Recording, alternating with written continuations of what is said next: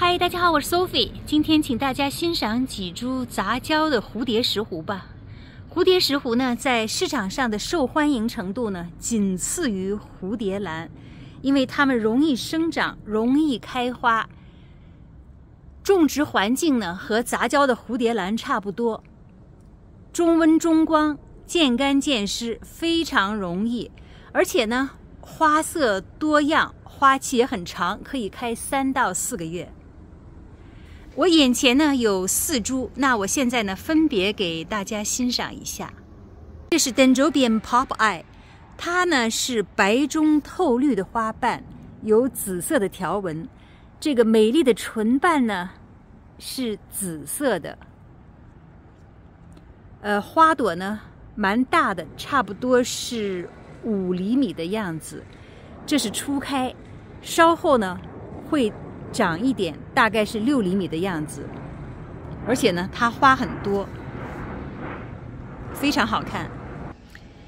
这株的名字呢叫做 Ocean Pink，看起来呢像是有两个大耳朵。呃，同样呢，花瓣呢尖端呢有一点发白发绿，总体呢是紫红色。唇瓣也是非常的漂亮，它们的花型我觉着比蝴蝶兰更美，花杆呢很长，有十几、二十几朵花。Dendrobium aridum blue，它的这个花瓣呢。说是蓝，其实有点 indigo。那现在看起来呢，稍微偏紫一些。通过手机看是这样的，但是你亲眼见的话呢，它是偏蓝色，而且呢是 indigo 的颜色，很特别。唇瓣呢颜色就更深，喉咙呢是绿色的。这个很奇怪，它居然呢有一种清浅的甜香味。这是我没有想到的，因为蝴蝶石斛呢，通常是没有香味的，但是这株呢，居然有香味。我查了一下它的背景资料，居然有十一种原生石斛的基因。我不确定呢，它的香味来自于哪一种石斛，但是呢，非常难得，蝴蝶石斛里面呢，很少有香味的。那多重杂交的蝴蝶石斛有香味呢，那就更少见了。所以这一株呢，相当难得。最后这株绿色的呢，它的名字叫做 Dendrobium Margarita。这株石斛的颜色呢，我非常喜欢，它是这种小清新的感觉。它几乎呢是纯绿色，苹果绿。